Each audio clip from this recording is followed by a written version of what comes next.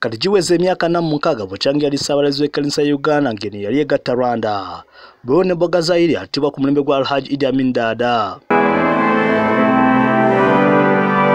olw'okuba gavumenti ya uganda yafuuka olunaku luno olukulu ng'emikolo emikulu gibadde misiko ekitugumu baba fronasa bategese okusaba okw'enjawulo okubadde ku lutikka ennamirembe kama yebazibwe olw'omusajja oyo yayimirira mu mazima n'abatisibwatisibwa ne wakubadde okufa kubanga abantu bangi ekintu kyebasinga okufa okutya wansi w'enjuba kigambo kyakulya ki kyakufa era omuntu abanga ebeerekaga gasinga kafa kisawuza asabye bannayuganda okwejjamu enjawukana sako ne bannayafuzi okuzanya ebyo bitasiga bukyayi.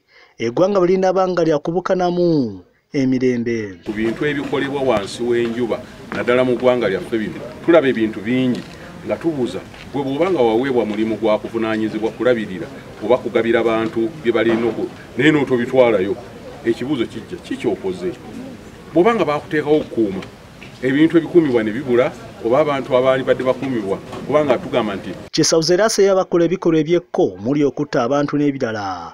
Okusooka beekuwe mu mitima kuba baba balumizibwa olw'abantu baabwe abeera battiddwa. Bangi bakoze ebintu nga babiriko ababa- ababagamba ababasindikiriza abali emabega w'ebintu nemulaba nti ekintu gundi omuntu akikola nga si ye yandikikoze naye olw'okubanga alina abasirikale baffe oluusi emirundi mingi baliko ababakozesa ne tusanga abantu abali mu buvunaanyizibwa oba awantu ne mu kkanisa oli ayinza oku- okukozesa omuki omuweereza.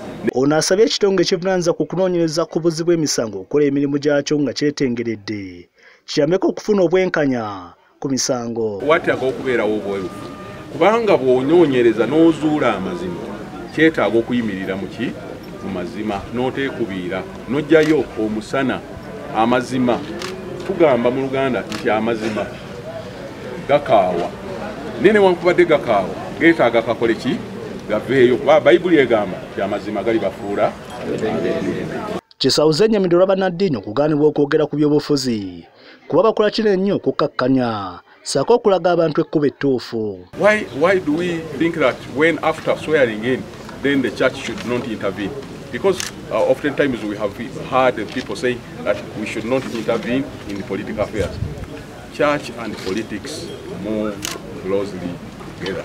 You cannot separate the church from politics, neither can you separate politics from the church. akulembedde abafronasa mu kusaba kuno asabye paalamenti ya east africa okuteekawo olunaku luno okuza mu bitundu byonna kuba yali akulemberayo mu biseera ebyo yali archbishop wa rwanda burundi bogazayi ne uganda. Kati mu biseera mu teeka lyetukolerako ery'okugatta amawanga riri mu east african legislative assembly. N'emeddo eyo erina okutongozebwa eyo kati kiina n'okusuukuluma ne bakitwala mu commonwealth parliament because be yalwanirira abamu abaafa tebaali baki bannayuganda abalala baali b'ensi z'ebweru bano basabye gavumenti okuteekawo omuteeko omulala mu bantu abasiimibwa n'emidaali nga gulimu bannaddiini bawe emidaali mu kulwanira eddembe. Waawo omudaali oguweebwa mu linnya lya jonani lumungu ng'omuzira eyalwanira. Baleme kumukasuka kumuleka mu kanisa lwaki kati bamuziika kitugumu tebamuziika wano ewe naye muntu munayuganda yalwanirira eggwanga lino ng'omunansi teyalirwanirira ng'omunaddiini so eyo medo erina kubaawo ng'ez'abalala bwezi. Ate ye twagala yeeba esooka.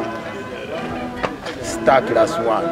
Abamu ku balwanyiri abasaale mu kulwanirira eddembe ye kanisa be bannaddiini be bakristaayo n'olwekyo kati bw'otugjamu era abafulonasa bwe bakukoleza epropozo eyo gye bagamba nti eh, bandibaddewo medo eweebwa ndowooza nti ekyo kyali kyalwa nadda bano bategeeza nti ssaabalazi ani omu yasooka okulafuba n'okulaba nga bannayuganda bafuna eddembe lyabwe nga nabo bagenda okutandika okulwana nga bali mu kirowoozo kye. Haruna luwangula delta tv amasokolomu